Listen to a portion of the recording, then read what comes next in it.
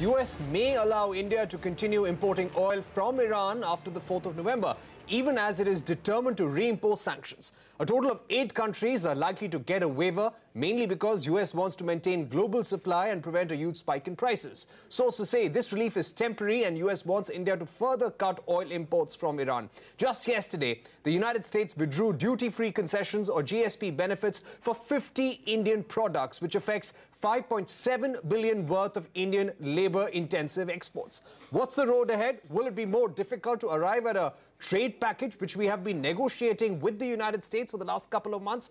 And will India also get concessions on steel and aluminium tariffs?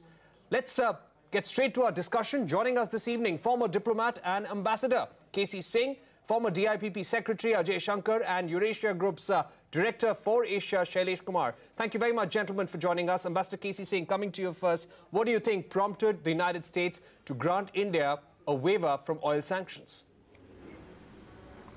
I think you answered it yourself very correctly. Uh, they must have made an assessment that in view of the turbulence uh, with Saudi Arabia, Khashoggi's problem, uh, internal uh, churn within Saudi Arabia, overall supply and demand globally could not be matched by Saudi Arabia or by others.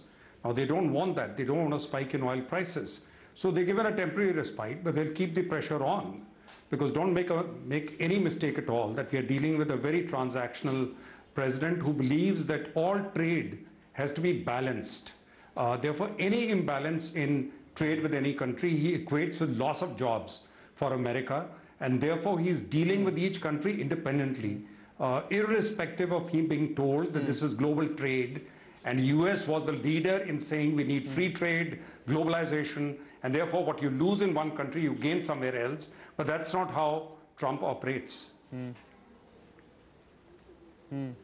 That's right. Ajay Shankar, if I can get you in, uh, we know very well, and this is something that Ambassador K.C. Singh was also pointing out, that he has been very insistent on bridging this trade deficit of $27 billion. There's a lot of talk about Harley Davidson. Whenever he talks about the trade deficit, the New York Times, in fact, joked about his obsession with the Harley Davidson. Uh, but how do you see the developments over the last few days? Today, there was a waiver from uh, oil sanctions. No formal statement yet. Yesterday, there was a withdrawal of GSP benefits for 50 products. Uh, the withdrawal of GSP was anticipated and expected, and it is not hitting us too hard. As far as the trade talks are concerned, they are on, and I think India is trying to be quite reasonable and constructive, and therefore one can hope that some reasonable package would emerge. But taking a more medium and long term view, I think we have to accept that this president of the United States would like to show victory domestically on the trade front, and that would be paramount for him. So we have to ca calibrate our medium mm. to long, long term strategy, recognizing this political reality within mm. the United States. So, given the other strategic mm. interests with us, some accommodation would be realistic, but the need for optical victories would continue. Right, because he's a man completely guided by national interest. He wants to show a victory on uh, home soil. But uh, going across to Shailesh, Shailesh, when you're dealing with the president, he, he, and also he needs to project to his domestic. Also, he needs to project to his domestic yeah, he needs to project to his, his needs to project to his domestic audience.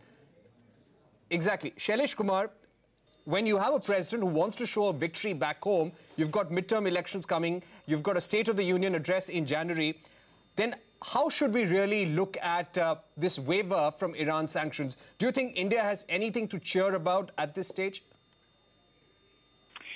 Uh, so a few few idea, few thoughts. First is there's trade issues and then there's the Iran issue, and I wouldn't conflate the two. So the Iran issue or the Iran waiver sanction is less about trade and more about politics or geopolitics in this case. So if we take keep in mind that you know one of Trump's biggest complaints earlier was the Iran deal, and one of the first actions he took was to remove the Iran deal. This is what this India waiver is about ultimately. It doesn't have to do with trade as much. Yes, there is a concern on the U.S. side that if Iran output comes off of the market, that prices will go up, and that'll be a problem for America. That's a very valid point. But ultimately, what the U.S. wants is nobody to do business with Iran, period. Now, what the waiver is, it a, is something to be happy about? I think it is.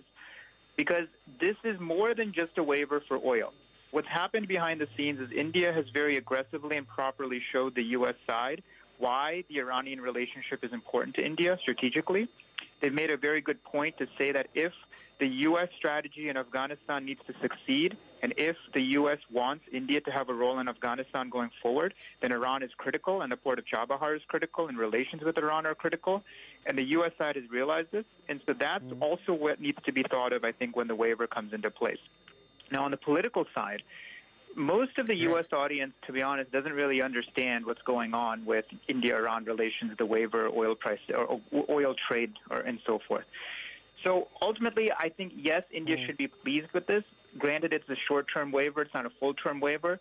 But I think there's a there's a typical knee-jerk mm. reaction, which is, well, this should have been done a long time ago, and this isn't fair. And I think those are all valid criticisms and complaints. Mm. But at the same time, this was not really easy on the U.S. Okay. side either. The administration was boxed in by the president. They, the bureaucrats were able to deliver on this mm. based on India's concerns, and I think that's a very important point. Mm. Ambassador K.C. Singh, Ajay Shankar, Shailesh Kumar, thank you very much for joining us on CNBC TV18.